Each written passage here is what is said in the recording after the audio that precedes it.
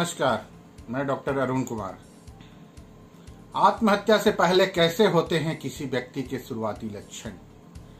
जानिए क्या कहते हैं डॉक्टर। सुशांत सिंह राजपूत की आत्महत्या की खबर ने सभी लोगों को गमहीन कर दिया है। एक चौंतीस साल के युवा कलाकार का इस तरह आत्महत्या करना बेहद दुखद है।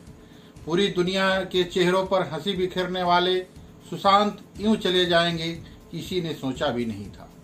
सुशांत सिंह की आत्महत्या के पीछे डिप्रेशन को बड़ी वजह माना जा रहा है। ऐसे सामान्य सवाल उठते हैं कि डिप्रेशन की वो कौन सी स्टेज होती है जिसमें व्यक्ति अपनी जान तक ले लेता है। आपको बता दें, सुशांत की पूर्व मैनेजर ने भी कुछ दिन पहले आत्महत्या कर ली थी। आत्महत्या के बढ़ते मामलों को रोका जा सकता है।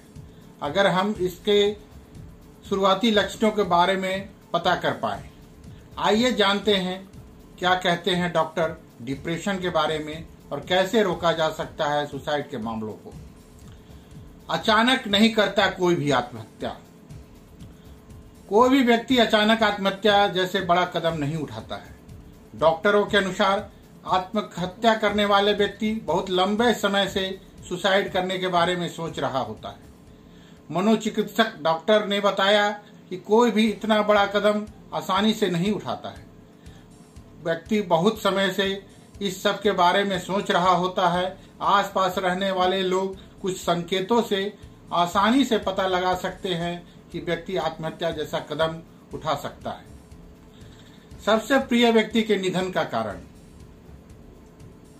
कई बार व्यक्ति किसी अपने को खोने के गम में को भूल नहीं पाता और उसके दिमाग में उनकी ही यादें बसी रहती है। जिस वजह से दुनिया से मन भरने लगता है और व्यक्ति अकेले रहना ही पसंद करता है।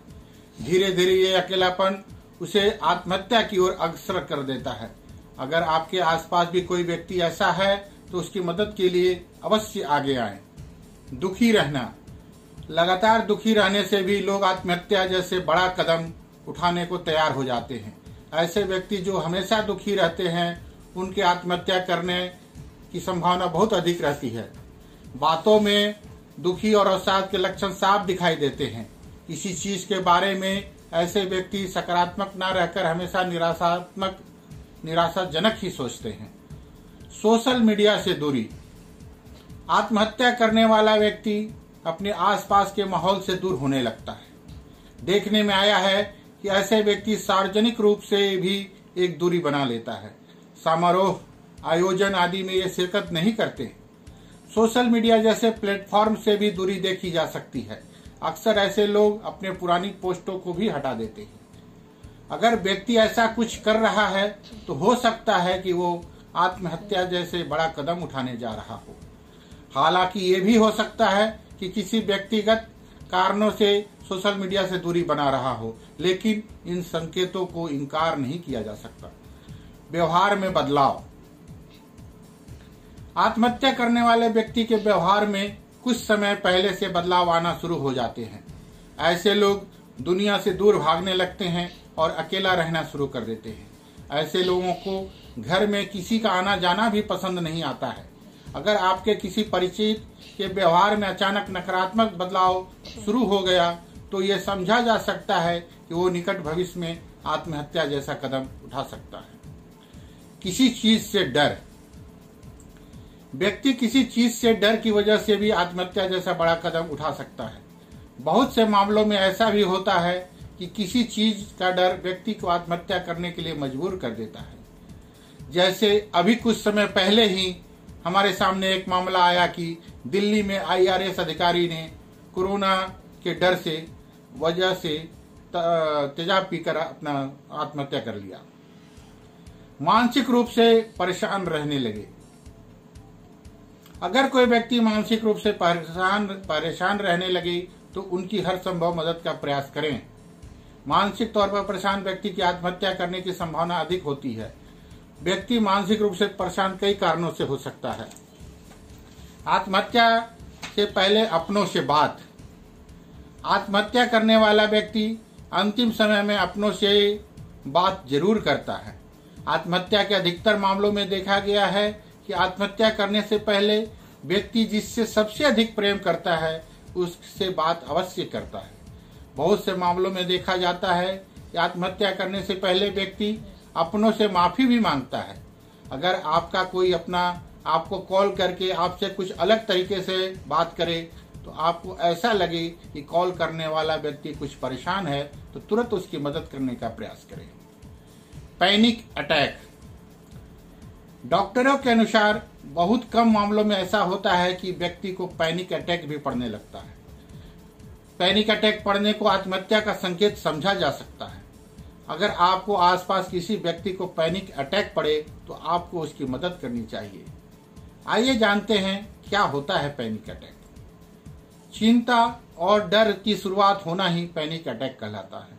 पैनिक अटैक होने से व्यक्ति अचानक से घबराने लगता है और उसे बहुत अधिक डर लगना शुरू हो जाता है। पैनिक अटैक के ये लक्षण हैं। पसीना आना, घबराहट, सांस लेने में तकलीफ़, दम घुटना, चक्कर आना या हल्का हल्का महसूस होना, ठंड लगना, स्तब्ध हो जाना, मरने का डर इत्यादि। अंत में मैं इतना कहूँगा कि मेरा ये स्पीच सिर्फ़ जागरूकता बढ़ाने के लिए साझा किया जा रहा है। डिप्रेशन से संबंधित जानकारी और लक्षणों को समझने के लिए आप अपने डॉक्टर का सलाह लेना अवश्य ज़रूरी है। धन्यवाद, आपका अपना डॉक्टर अरुण कुमार। मॉर्निंग और इवनिंग वॉक के लिए जा रहे हैं तो बरते ये सावधानी। स्वस्थ रहने के लिए वॉक करना महत्वपूर्ण है, परंतु इसी वजह से वॉक करते समय बहुत सी चीज़ों को ध्यान में रखना बहुत ज़रूरी है। पिछले कुछ समय से देश में नहीं जा सकते थे।